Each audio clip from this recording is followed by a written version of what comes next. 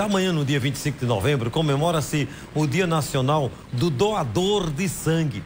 Mas para marcar a data, o Hemocentro da Paraíba está realizando uma ação para sensibilizar a população para a importância da doação. A Comum detalhes agora com Sabrina Barbosa.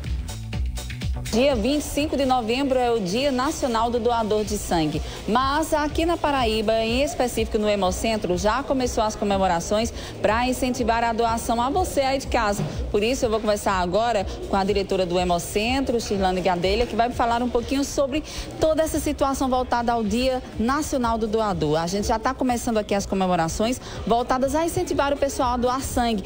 Que mobilização vai acontecer aqui hoje? É muito importante hoje receber todos os doadores nesse dia que já antecipamos a comemoração do Dia Nacional do Doador.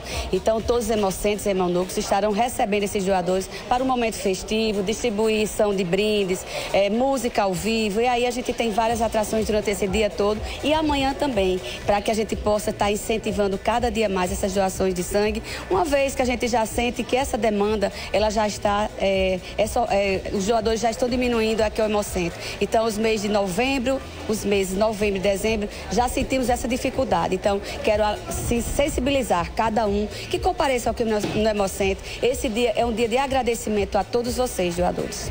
Muito bem, foi muito importante você falar, Shirlene, a respeito dessa época de dezembro, que é uma época que, assim, o pessoal viaja, não dá o retorno aqui a quem já é assíduo na questão de doação, mas também é uma época que acontece muitos acidentes. É, essa mobilização, ela vai se estender também, não só pelo respeito ao dia do doador, mas como é que vocês estão pensando já nos estoques do mês de dezembro? Então, nós estamos já é, com algumas caravanas, já estamos com a unidade móvel fazendo também coletas aí pela cidade, pela cidade de João Pessoa, pelo pelo estado todo, né?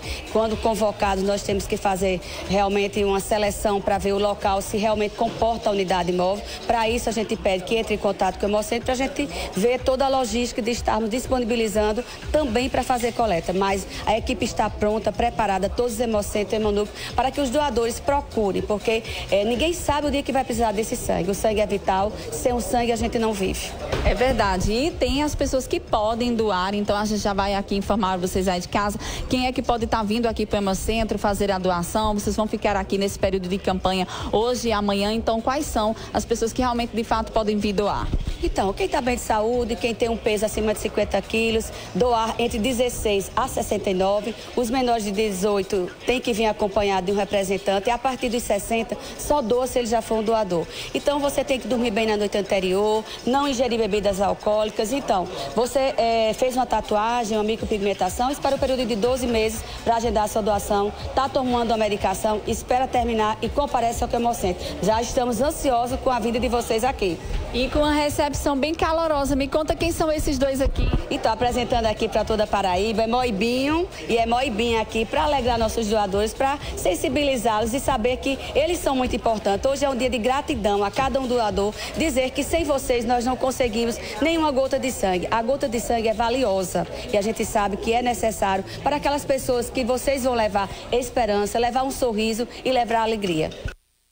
É isso aí, doador de sangue é importante, né? Doar sangue, né? Porque você salva vidas. Deixa eu